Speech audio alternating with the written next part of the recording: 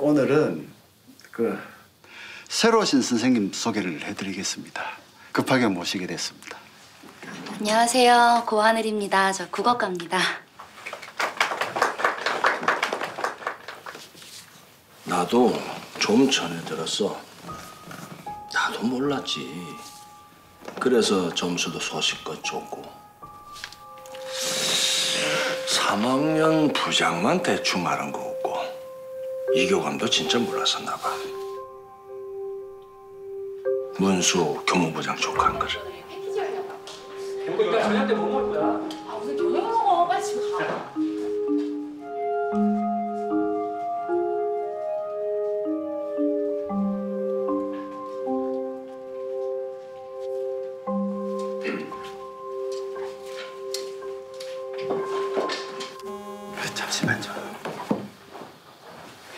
예.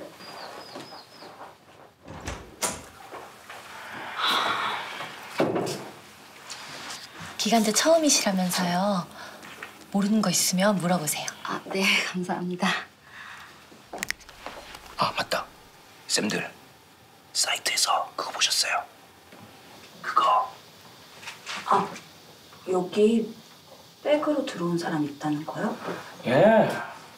아니, 1년짜리 기간제 구하기가 얼마나 힘든데. 그러니까요. 나척도 두꺼워. 근데 여기 곧 국어과 정교사 티원한다는 소문이 있던데. 진짜로? 여기 4년 동안 티어 없었잖아요. 4년이나요?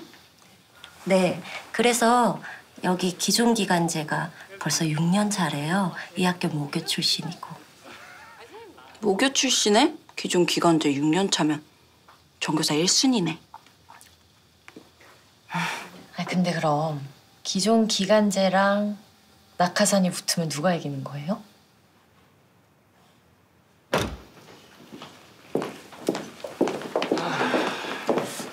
이따 다 같이 밥 먹을까요? 아우, 좋죠. 그럼 제가 각자 교무실로 콜 할 테니까 급식실 앞에서 봬요. 아, 저기 진학부가 어딘지 혹시 아세요? 아, 제일 교무실 안에 있어요. 복도 중앙으로 올라가서 3층이요. 아, 네, 감사합니다. 권 선생님, 선생님은 여기 서류 작성하고 하셔야 됩니다. 이따 전화 드릴게요. 급식실에서 봬요. 아, 네.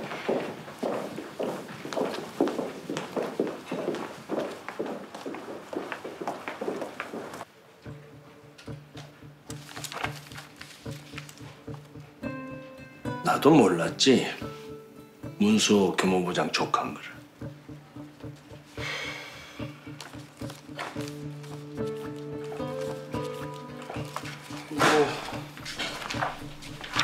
표정 관리 좀 부탁드립니다, 부장님.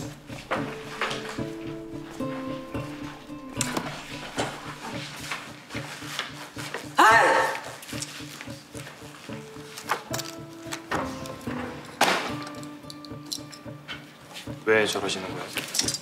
낙하산 출처를 알았으니. 그러니까 왜 하필 문소 부장 줄이냐고. 안 그래도 문소 이름만 들어도 히스테리 부리는데. 두 분 아직도 좀 그러신 거예요? 아, 그니까. 나 회의 좀. 아, 다녀오세요.